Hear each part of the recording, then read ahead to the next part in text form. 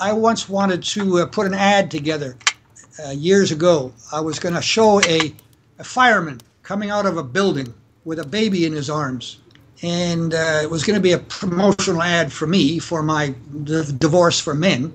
And it was going to say, We trust these men with our children, but they can't see their own. Привет всем! По ходу компания Gillette пытается включить задний ход на полную скорость.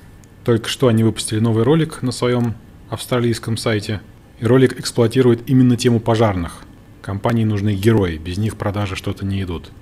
Я не поставил под роликом ни лайк, ни дизлайк, потому что считаю, что ни тот, ни тот не подходят по контексту, но я бы обязательно написал комментарий.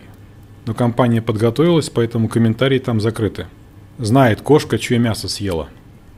Чуть раньше, месяц или два назад, компания Gillette копнула еще глубже, чем была все это время, и сделала еще один рекламный ролик про первое бритье транссексуала. В общем, компания сама напросилась. Gillette. The best a trans can get. Осваивайте эту базу, потому что другой вам, видимо, не светит. Знаете, одно дело проявлять толерантность к этой теме, а слово, напоминаю, обозначает невосприимчивость к чужеродным элементам. И совсем другое дело идентифицироваться с этими чужеродными элементами – уже после этой рекламы наступила отчетная пора. И по отчетам получилось, что компания потеряла примерно 8 миллиардов долларов.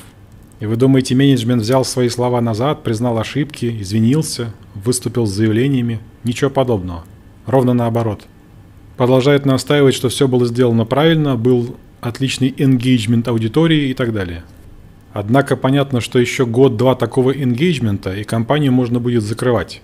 Или как минимум придется делать ребрендинг. На меня лично ролик с пожарным впечатление не произвел.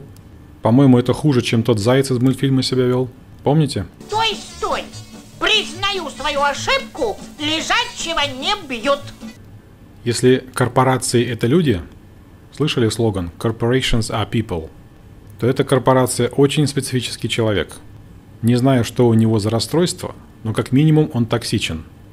Так что, как говорят англичане, «too little, too late», Слишком мало и слишком поздно. Моя семья продолжает бойкот всех товаров с маркой Gillette и призываю к тому же и остальных. Я думаю, это должен получиться хороший пример. И пожарники их тут не спасут. Lord Jesus, be revealed from heaven with his mighty angels. In flaming fire thou shalt take vengeance. Burn, motherfucker. Burn.